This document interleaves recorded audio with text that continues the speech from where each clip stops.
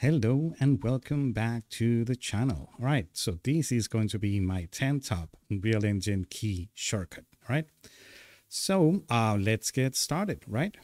So the first one is fairly easy. This one is V to snap to vertex. Even though it seems a little bit easy, it's not that easy and not that useful when you are dealing with, you know, a couple of million vertices in your scene and you're going to see right away if I select this cube and I hold down V and start moving it around Unreal will suggest like these many vertex to start snapping which is you know no that good. So the first thing that I would do is you know um, if I'm working with this V I'm usually use doing some sort of you know blocking space or um, um, white boxing, right?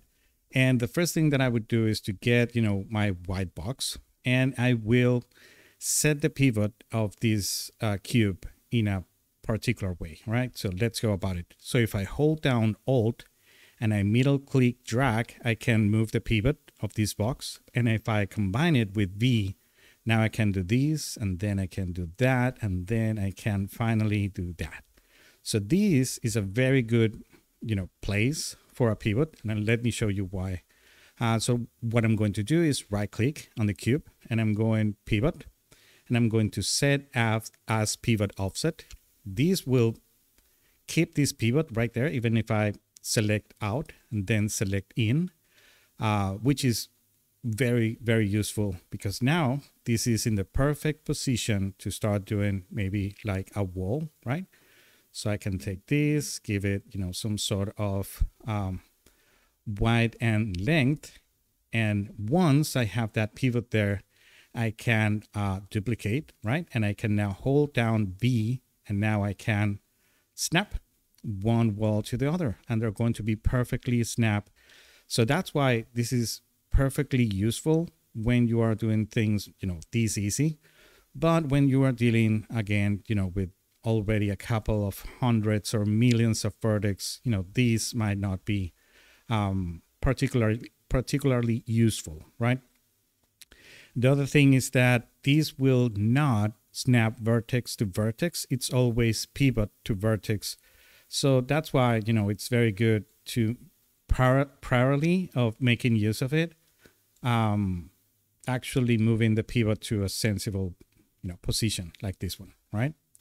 Cool, that was number one. And in no particular order, let's go to number two.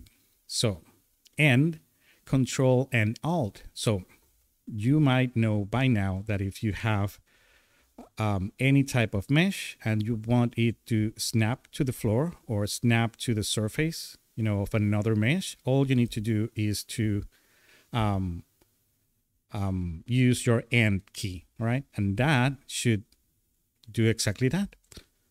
So end, and that will happen every time, right? But you can also vary it with uh, control and alt. So control uh, will snap not to a particular surface, but to the actual uh, grid of Unreal, right? So um, if you move something and you have these many decimals behind, you know, each and every one of these, if you hold control and then end, that is going to snap, you know, to the next uh, grid point maybe. So you, you can see that, you know, if this has, you know, that many decimals on it, uh, if I, you know, control, uh, it jump from 16 to 20.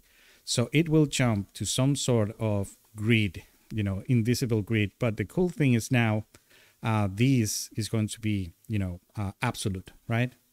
And it's very good to not have you know that many decimals in you know in the transform of a cube.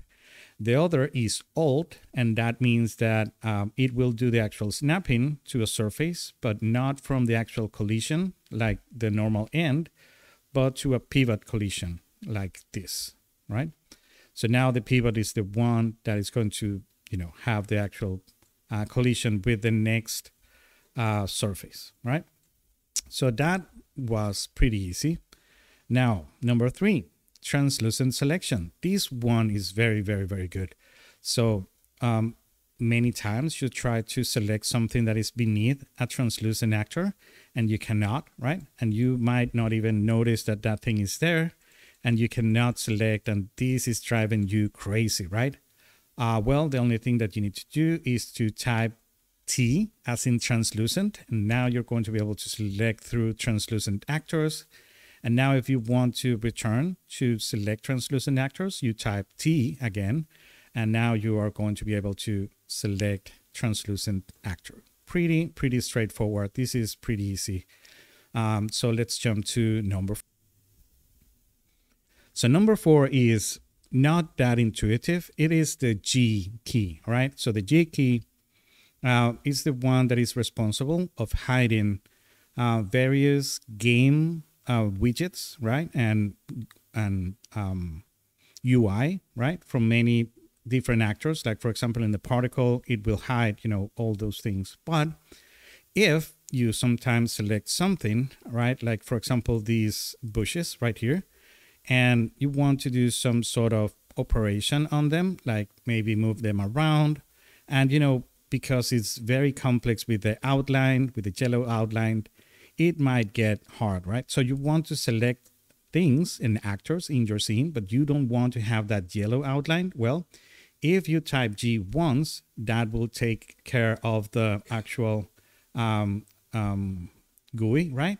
And also it will take care of the outline. So now, you know, I don't have a, um, the game elements, but I still have the outline. Well, if I type G one time, the second time, that will take care of the outline. And now you can, you know, use your uh, the transform on your edit, right? And move it around and do, you know, whatever you want without having that pesky uh, outline on it. And I always use this one because, yeah, for very detailed stuff, the yellow outline can be very, very distracting. And sometimes you want to not for it not to be there, right?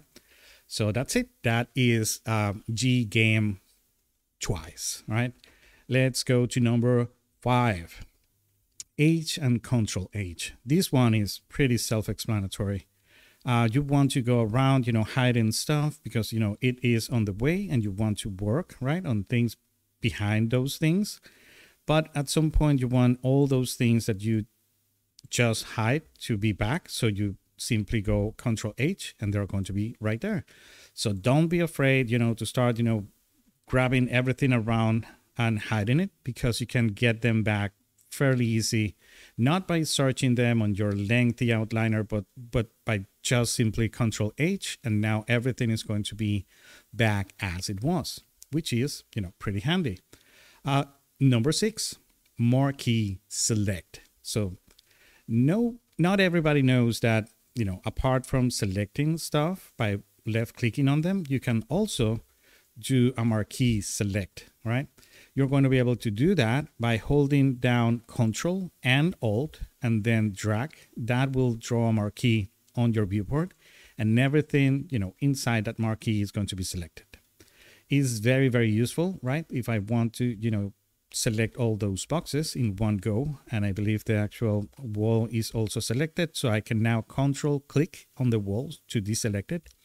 Now I will just be moving those boxes. So this is pretty, pretty good. Remember, control, alt, and drag is the select marquee.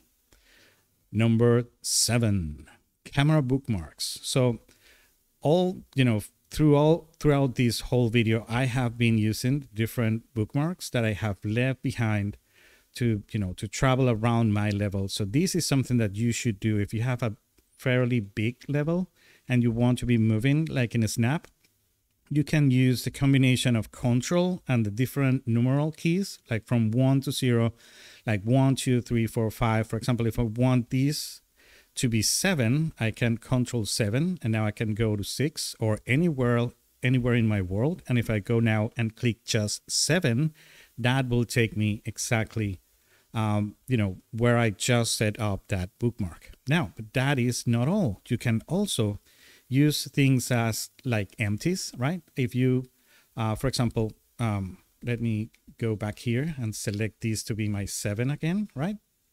Like this um, if I want this uh, view right here to be safe or, you know, somewhere around it to be safe, you can simply go to my quickly add to the project button and you can go basic actor and you drop an actor right there and you call it point of interest or something, right? And you give it an, a numeral to it and you put it somewhere around there. No matter where you go, I can go back maybe to my point of view A, and this is the one.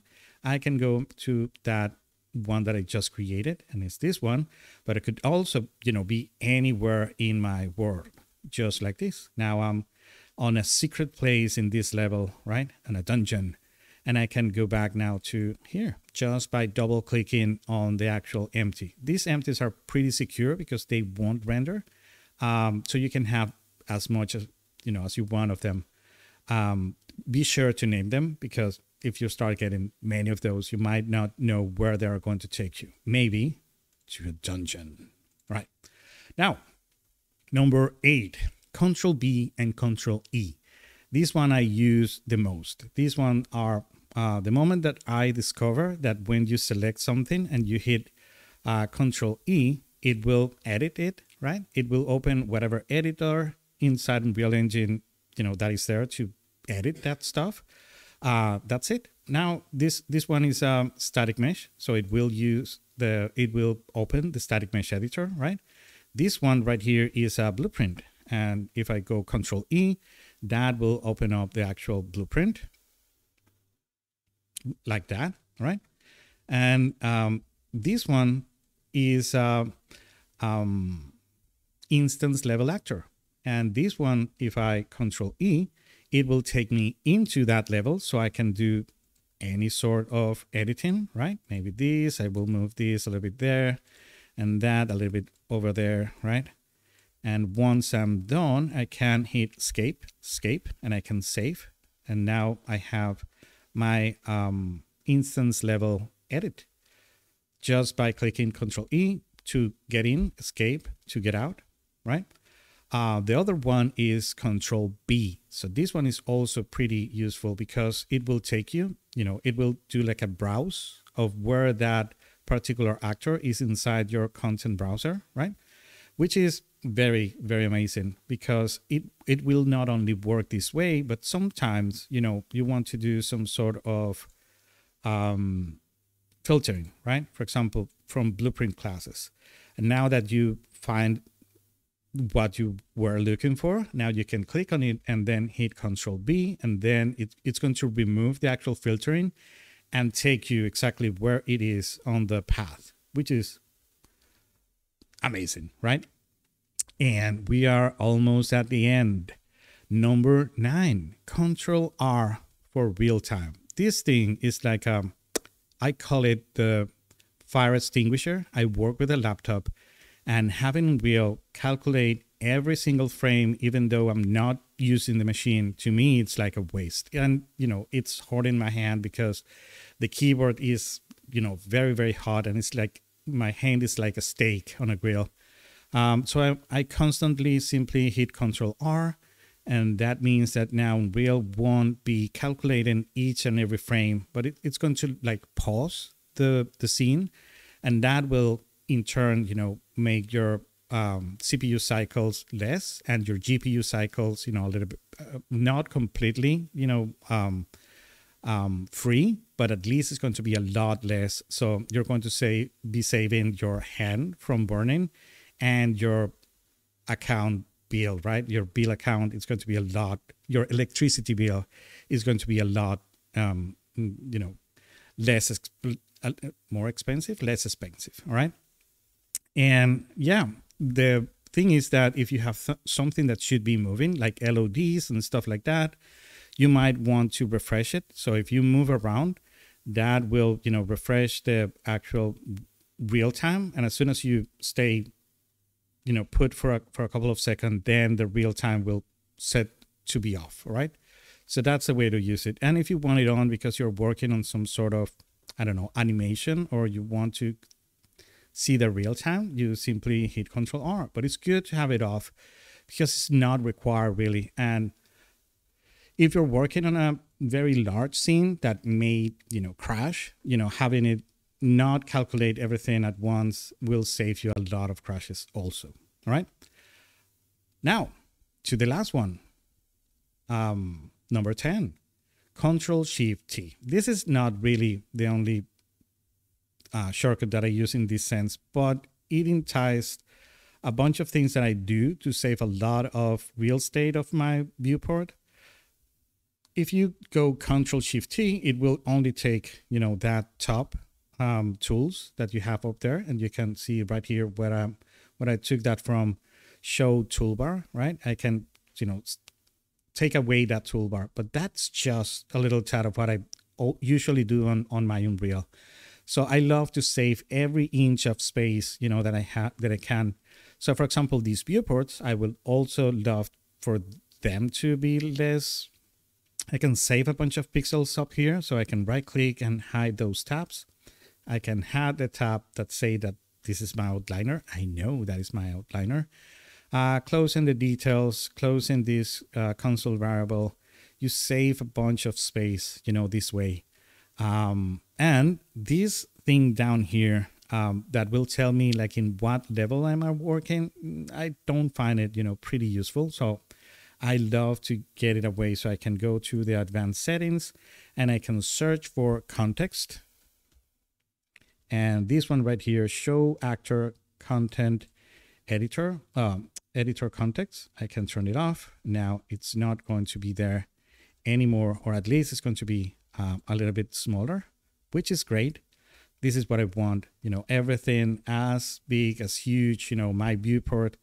And I go to the length of, um, you know, if you type F11, you will have like um, cinematic view, you know, without any windows, just a viewport. Well, I have it in control space because to me is uh, very useful, right? I don't have to go all the way there to F11 uh, because I have control space to do um, to open up the content drawer and shift space to you know save a little bit of time uh, of space right? So if i'm working on you know white boxing i have my whole thing very clean nothing to bother me and i can you know keep on working. If i need something i can simply come here select something edit something in my um, um, editor window. And yeah that's it. So that was it we got to the end. All right, I want to invite you all to subscribe to the channel for more tips like this. I'm bound to do something more, not in the realms of um, keys, but you know, main practices that I use inside um, Unreal. So be sure to subscribe for that one and uh, be cool. I love you all, and I will catch you on the next one. Bye.